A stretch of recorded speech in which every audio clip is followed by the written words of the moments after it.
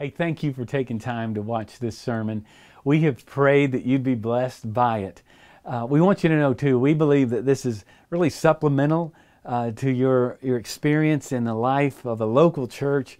But if you're here in the Dallas area, we hope you'll come and join us and be with us for worship. We pray this blesses your life and you're drawn closer to Christ as a result of this message. So anyway, of a long, after a long list of, um, of things that Paul offers in that passage in Romans 12, there's a long list of, of uh, character traits or, or things that we do that, that really a life that's pleasing to the Lord. And it's not surprising that the very first one is, is love. He says, let your love be sincere. Let it be real and authentic. And he basically says, love God and hate sin. Love God, hate sin. So that's, that's a pretty good way to live. And then he goes through this list and he says, Don't be slothful. So we're going to be talking to our students next hour about not being slothful, uh, to be eager, to be, uh, be uh, you know, don't be slothful in zeal, but be passionate and be ready to love others and serve others. And we're going to talk about now what it means to love out loud. Um, when I was uh, in the sixth grade, I had a crush on this girl named Karen Linares. And so I wanted to express my great love for her. And so I asked her to go with me. That was back in the day. I don't know what you do now. You're dating now? What happens? You know, like you're in sixth grade, you're dating somebody. You're not dating them. You don't. But anyway, we used to go with each other, right? So I was going to ask her to go with me. So I legit, for real, did this. I wrote a note and I gave it to her, you know, and because I was really, I didn't know how to talk to girls. I'm in sixth grade. I was like scared to death. And so I had, you know, you always have the go between too, right? And so I had a friend who got the note to her, and my note for real said, Will you go with me? And then she could check a box, like yes or no. and uh, I'm embarrassed, but I really did that. And she said no. And um, yeah, right? And so thank you. Thank you, Jana. Uh, I still get a little sad about it today. And I think that she said no because I had not really, up to that point, had like a legit conversation with her in my life. I was scared. Then ninth grade came around, and I was really, I mean, I'd grown up by that time, big time. So I asked Beth McConnell to go with me. So um, I was at her locker. I had planned it all out, and it was like between class, and I was at her locker, and I was kind of talking, and then I just out of nowhere, I said, "Would you go with me?" And she was kind of giggled and said yes, and then she went off to class. So we were we were going together. I didn't know what to do next, and I'd call her, and I'm for real. I would call on the phone. This is back in the day, kids. Sorry, but like we didn't have cell phone. There wasn't this subculture of of teenage communications and stuff that drives your parents crazy now. Uh, where you're making all these plans. You know, back in the day, you had to call somebody's house, and like a dad could say, uh, "I don't think so," you know, and just slam the phone on you. But I'd call and talk to her, and I would make like a little list of things to talk about while I was talking to her. Okay, yeah, because um, I mean that just helped me out. I was having a hard time communicating, right? And, and what happens is sometimes in life you have a hard time communicating your great love for someone else. Now, I've grown up a little bit, and I don't always write notes to Stacy now. I don't, you know, talk directly to her.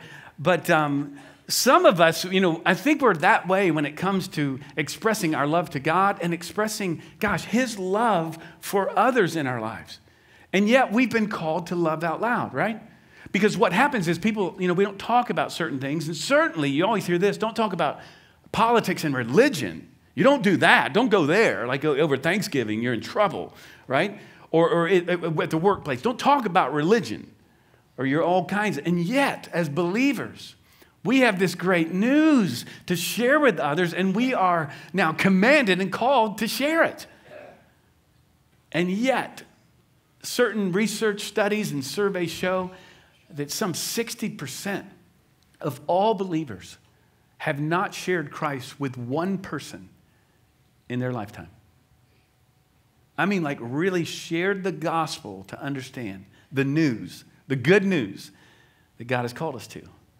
And so, through the month, if you hadn't been here, we were talking last month about uh, what's called the, the upper room discourse. It's Jesus' final teaching through really John 14 through 17, and he's teaching, he's talking about the Holy Spirit that's going to come as he's going to leave. After he brings that teaching, he ends up being arrested. He, he, he's end up beaten punished on our behalf. He's taken to the cross and he dies on Friday afternoon. And he's buried. Well, he's raised again on Sunday. He appears to his disciples, and several of the eyewitnesses then would write biographies about his life.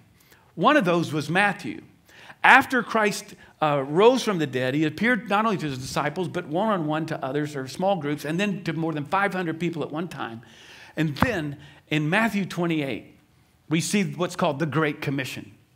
And you can see it there on the screen. Jesus gives this great co-mission. Now think about this. It's the co with, okay, the mission, with Jesus' mission. So he gives us the Holy Spirit, and he says, All authority in heaven and on earth has been given to me. So if he has all authority, how much do we have? Well, really none. he has all, we have none. But now he says, Go in my authority in you, all right? Go in, therefore, and make disciples. That's the great challenge, the great commission of all nations, baptizing them, all right? In the name of the Father, the Son, and the Holy Spirit. There's that Trinitarian uh, relationship that we enter into, teaching them to observe all that I've commanded you. And then he says, and behold, or look, look, look, look, look, listen, listen, listen, listen. I'm going to be with you throughout it all. I'm always going to be with you. So he tells a small group, think how audacious this is. A little group of guys who've not been you know, hardly outside of their own little spot, their own hometown, essentially. And he says, Now I want you to go to all the nations of the world and share the gospel. Now, of course, we know that this is to his disciples, but this comes to us, right? And, and, and so then in Acts 1, verse 8, which is a, a verse that's really kind of central to us here at Park Cities Baptist Church, you see it all over where, where it guides our mission efforts here, locally, and, and beyond. He says this. So Luke, uh, writes it this way. He says, when, when Jesus was ascending, not only did he give the Great Commission, he gave them a strategy to the disciples.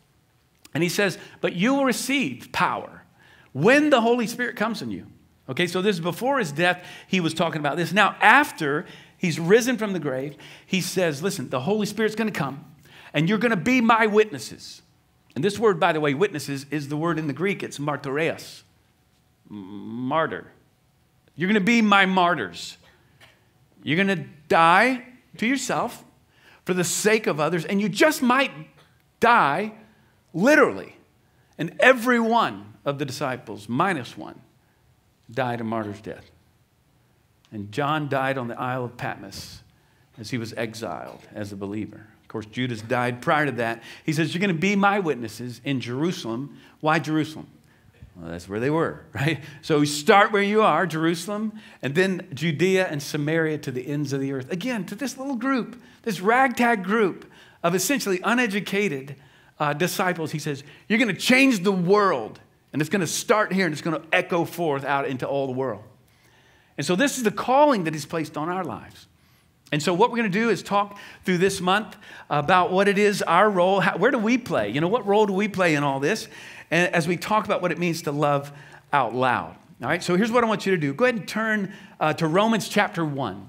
Uh, verse 14 is where we're going to land, and uh, we're going to look at what Paul says about our role uh, in this whole great enterprise, this great commission that we've been called to. Because a great, the Great Commission uh, follows what's called the Great Commandment. The Great Commandment is to love the Lord your God with all your heart, soul, mind, and strength. Love God comprehensively with your life.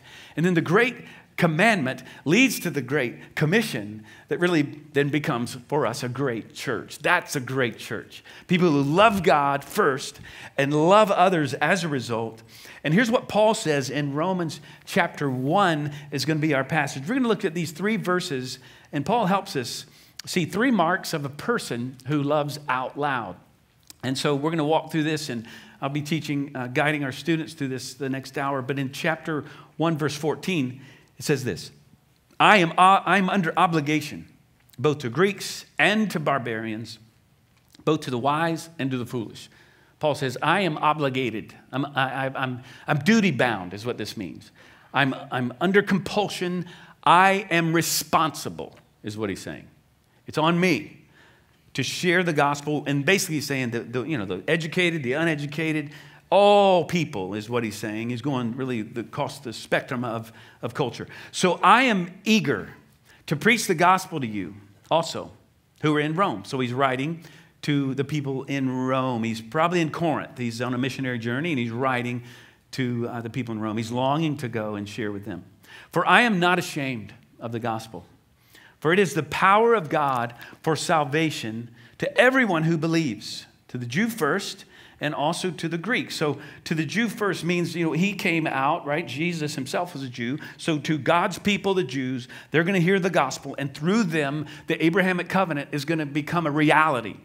That I'm going to bless you, Abraham, a people who are then going to bless the nations. And, and, this is really what Jesus is talking about. It's going to happen among the Jews first, but bam, it's going to go out and, and a blessing to all the world. For in, in it, the righteousness of God, what is it? In it, the gospel, in it, the righteousness of God is revealed from faith for faith, or from faith to faith, as it is written, the righteous shall live by faith. That faith to faith really means uh, faith from start to finish is faith. It's all about faith. And we're going to see what he means there because he says it's always been the case that the righteous shall live by faith. So let's talk about it. Let's talk about what it means to love out loud, all right?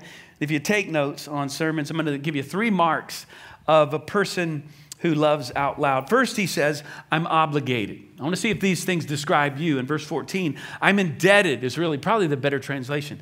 I'm indebted, I'm duty bound. Paul belongs to, uh, to the, he, he sees that, that this gospel really belongs not just to him, it's not just mine, it belongs to everybody.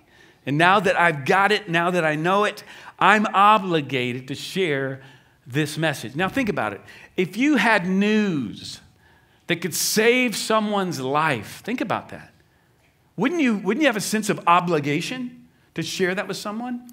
You know, some of you have kind of heard maybe the, the illustration. What if you had the cure of cancer, right? The cure for cancer, and you just kept it to yourself? Now, you could argue that's, that's like criminal negligence, uh, you could say. I mean, if you had the cure that could save someone's life and you didn't offer it, wouldn't you believe, wouldn't you think you're obligated to do so? You're responsible. This is what Paul's saying. I'm responsible for this. I'm obligated because I've received this great news. I was once a Jew myself, obligated to the law. I, I, could never be good enough. I sought my whole life to appease God and, and to follow religion, and I couldn't get there. And now I've discovered something. And this is news to me. The world has not known this, he's saying. And now I've received it. I'm under obligation to share it. Well, not only that, he's under obligation, but he's also has this great conviction, and he says that he's eager. I love that word. Uh, Paul is, is obligated and he's eager. And I want to ask you again, are you? Does this describe you? I am eager. This word eager really, it means ready to go. I mean, it's enthusiastic. It means that you're prepared even. Uh, consider this a runner who is uh, in the box and ready for the, for the gun to go off. I'm, I'm ready. So come on, fire the gun. I am hyped. I'm ready. I'm prepared. So he's obligated. He's under obligation. He's in the starting blocks. The King James says, I am ready. And, and really, the idea is ready and willing. Would that describe you? Maybe for many of us, eh, you know, I'm really challenging, and many of us are probably thinking, man, I don't know that I get the obligation piece. I don't know that I'm always eager and ready to share the gospel. And yet, God has called us to do so. So, what is our motivation? What is it that we're missing? Well, I could say in a word, it's love. It's love. But I think it's God's love for us that really brings about in us this great love for other people. Those who love out loud are those who are eager. Okay, they're ready, they're prepared, and they're ready, ready to go. Um, I'm motivated by God's love, who then uh, you know, allows me to love others. And the greatest gift that I can give someone is for them to understand and to have eternal life in Christ and the joy that is theirs to follow Him.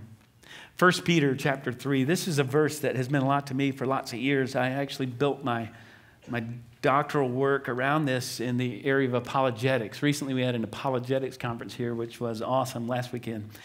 And uh, here's, what, here's what Peter says He says, But in your hearts, honor Christ the Lord is holy. Let, let him be central in your life. Always being prepared. Another translation says, always be ready. Be ready to make a defense To give a defense, that word defense is the word apologia. It's a courtroom term. Be ready to give a reason to anyone who asks you for the reason for the hope that is in you, this hope that you have. Yet do it with gentleness and respect. There it is. We're not seeing a lot of that these days, this gentleness and respect. What if everybody who is a believer, who ends up on some crazy news channel where they're just going back and forth with each other, what if they were actually gentle and respectful? Wouldn't that kind of change the game a little bit? And just bring a winsome, loving approach to others so that we might lead them and love them to Jesus. But he says, always be ready for this hope that you have. What is this hope? Um, and I love that. You know, there's a difference between hope, as we might think about it, you know, wishful thinking, and actual biblical hope. Uh, today, I understand there's a big football game this afternoon. Um, how many of you are anybody pulling for the Patriots? Who's got the Patriots in this one? Anybody pulling for the Patriots? Nobody. yes? Repent! Okay, sorry, I was just waiting. I wanted that, more of that. Like nobody.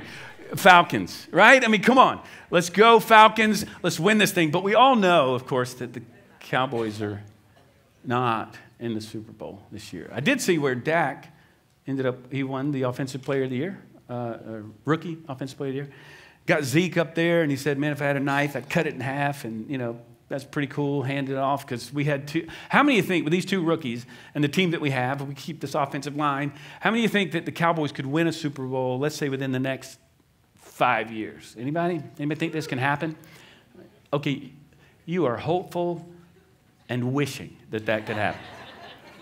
that has not happened yet, right? That's wishful thinking. I mean, I could argue. Like a lot can go wrong, right? I mean, the, you know, you don't know who's going to get traded off. Witten is he going to keep playing? I mean, you could go on. Romo, where's he going to end up? But, uh, but all kinds of things could happen. That's wishful thinking. That's just, that's not biblical hope. Hope, check it out. Paul's hope and the hope that Peter's talking about is not wishful thinking. It is the hope that we have is based on not hoping that something will happen in the future. It's what has already happened in the past. That's where our hope lies. The last time the Cowboys were in the Super Bowl was anybody know? 1995. 22 years ago. I mean, our students weren't even alive. In their whole lifetime, they've never seen the Cowboys go to the Super Bowl. You're talking about wishful thinking. But here's the thing Paul is saying, and Peter says here, be ready to give an answer to anyone for the hope, the certainty that you have based on what's already happened. That's the gospel. Our salvation is not based on, oh, I hope it's true. I hope that someday I'm going to go to heaven. I hope that. The... No, no, no. It's already happened. You receive it by faith, and it's certain, not based on your good works or anything that you're going to do in the future but what Christ has already done for you. And so, what I love is Paul goes on then and he says, This is why I'm not ashamed of the gospel. It's not about me and my crazy life and all that I've done, or even how good I am now. Instead, it's based on what Christ has already done for me. So, Paul says that he's obligated, he's eager, and then thirdly, I, he says, I'm not ashamed in verse 16 and 17. He's not embarrassed, he's, not, he's humbled. He's unapologetic. That's what that word means. Bold and forthright. He's not hiding. And I wonder, why was he all these things? Well, because he knew that it had already happened as a done deal and it had changed his life. And so let's talk about it as we close. I want to get real clear about what is, what is this gospel? Well, he tells us. See, what do we share exactly? And I could argue, well, you share your story. We all have a story if you have come to Christ. Uh, if you haven't, you don't have a story. If you have received Christ, you have a story. And here's what's beautiful about the story nobody can argue with your story. I mean, they can say, well, that's cool. And that happened to you, not me. That's your story. I've got another story. Okay. I mean, we can end it there, but you can't argue with my story. And if, I'm, if I have this sense of obligation, if I'm eager and passionate, if I'm ready, right, and if I'm unashamed, that catches people's attention. And that will, that will ultimately allow the Spirit to speak into others' lives. So let's talk about this. What is this gospel he's, he's, he's obligated, eager, and we should be unashamed to share? Uh, well, first of all, it's news, right? And, and here's the news it is the power of God. You see that in verse 16? It is the power of God unto salvation. That's what it is.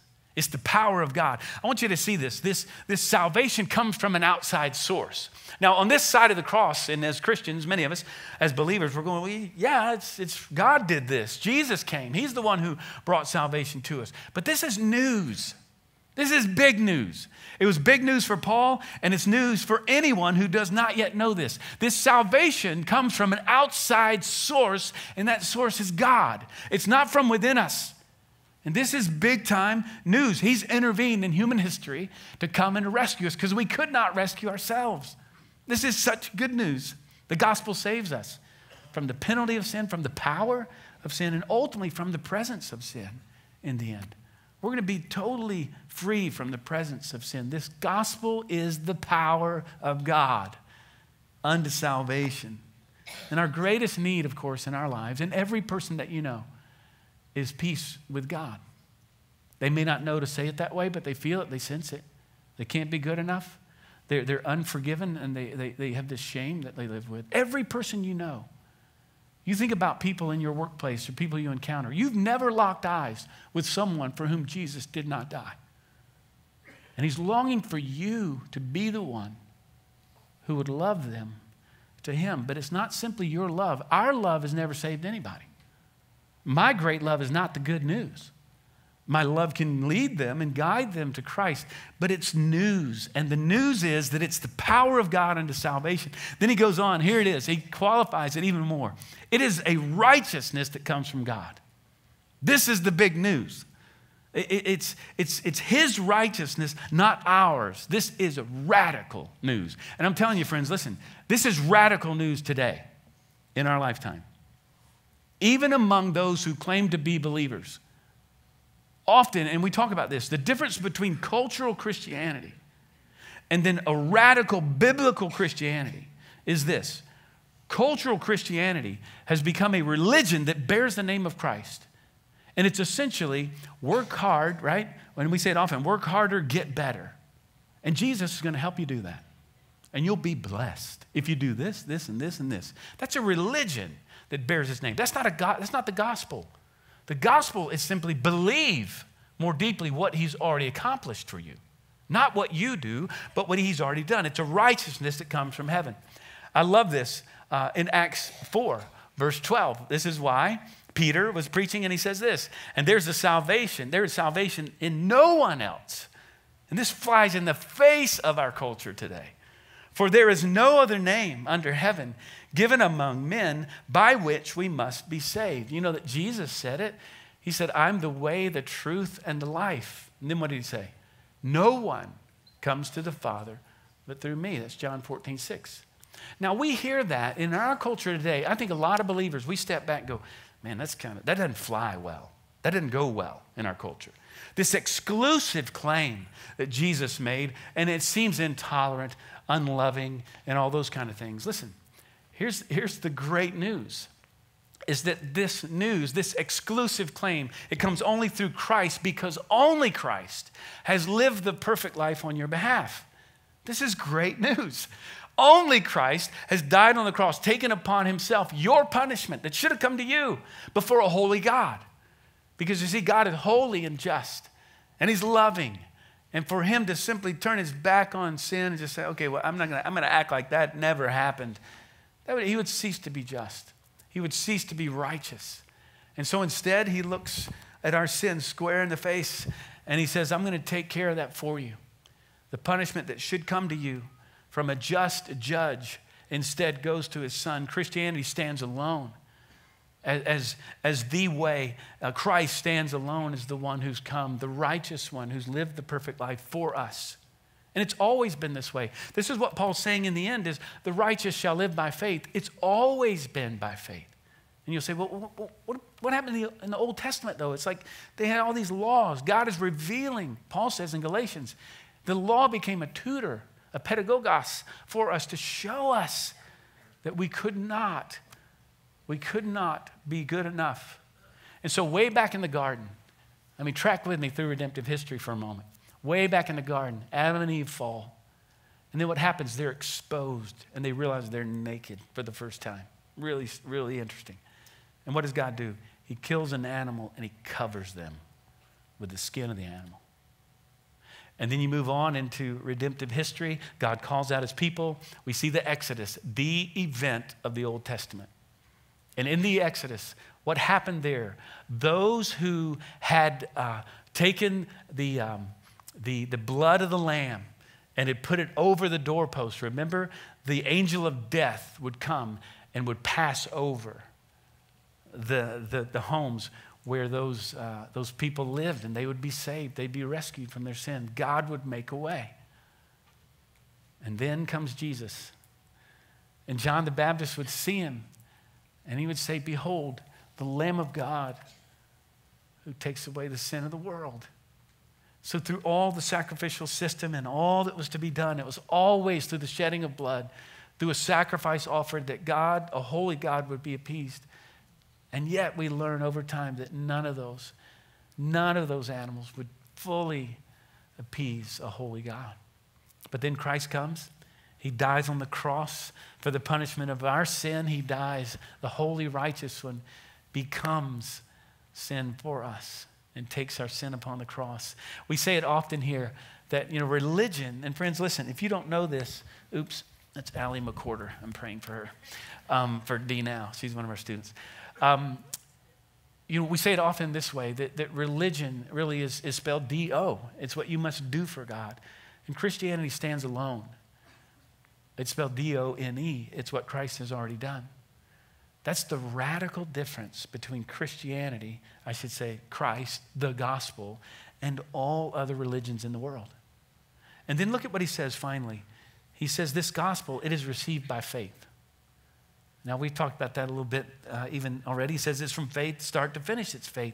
And this is where we struggle. As I've had conversations, even recently, you get to the faith piece and it's like, oh man, I just struggle with faith.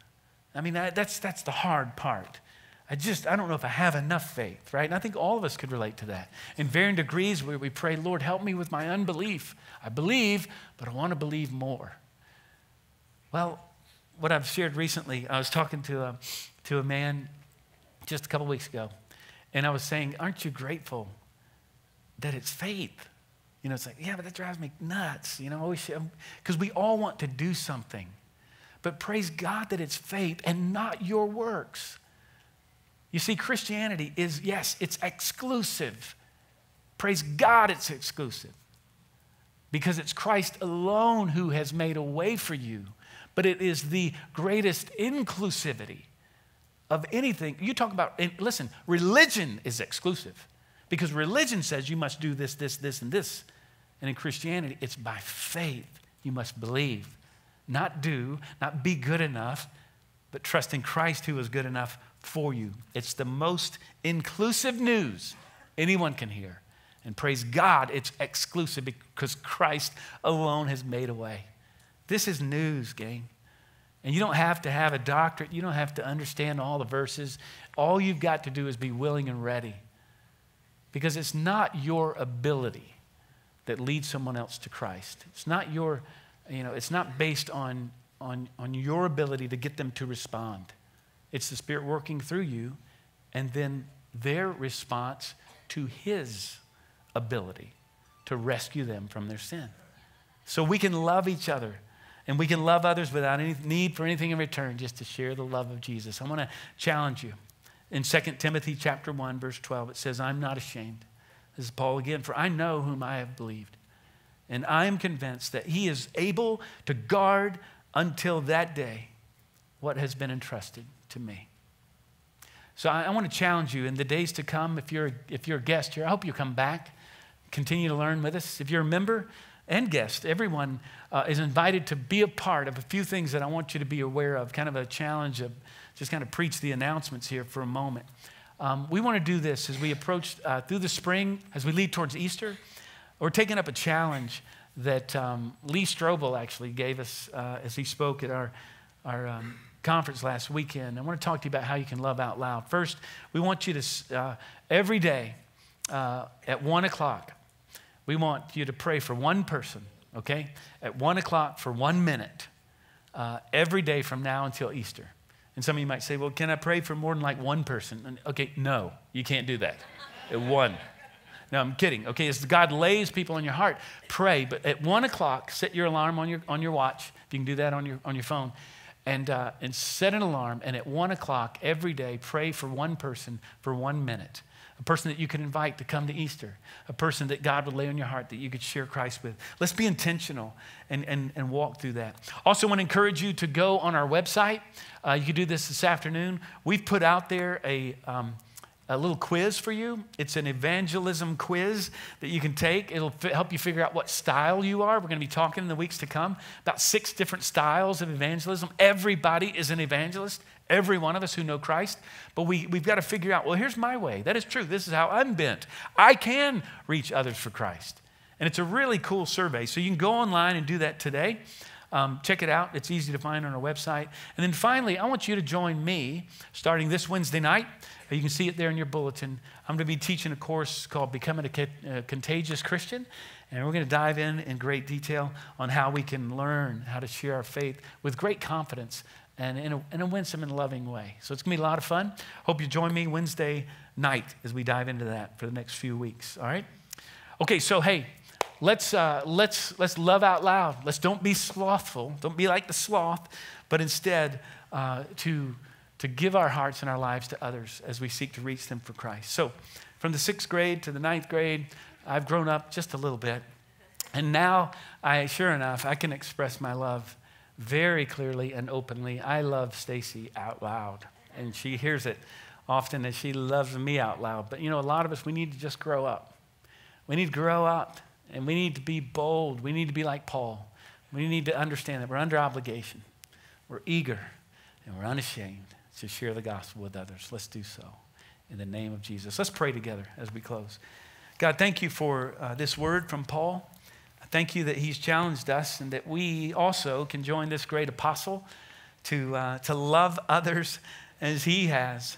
Lord, what an amazing thing uh, to think that uh, from the disciples, sure enough, they did it. They did it. They, they shared the gospel, and then from them, one person to another, from one generation to another throughout 2,000 years until one day, one day the gospel came to me. And it came to each person here in this place. And now you've called us to do the same. And friend, I want you to think about the day you came to Christ. I want you to rejoice in that. People who led you to Christ. Without them, you wouldn't be here today. They loved out loud. And now you and I, we're obligated to do the same. And if you don't remember a day when you've received Christ, today could be your day. Just give your life to Him. He died on the cross for you. Give Him your life anew today. If you, do, if you don't know Him, just by faith receive His love, His grace today. We'd love to talk to you about that. Let's all express our great love for Him and our need for Him in our lives. Lord, we love you and we praise you. In Jesus' name. Thank you for taking time to watch this sermon. If you would like more information about our church or following Jesus, please go to our website, pcbc.org, or contact our church offices. We hope to see you next week at church.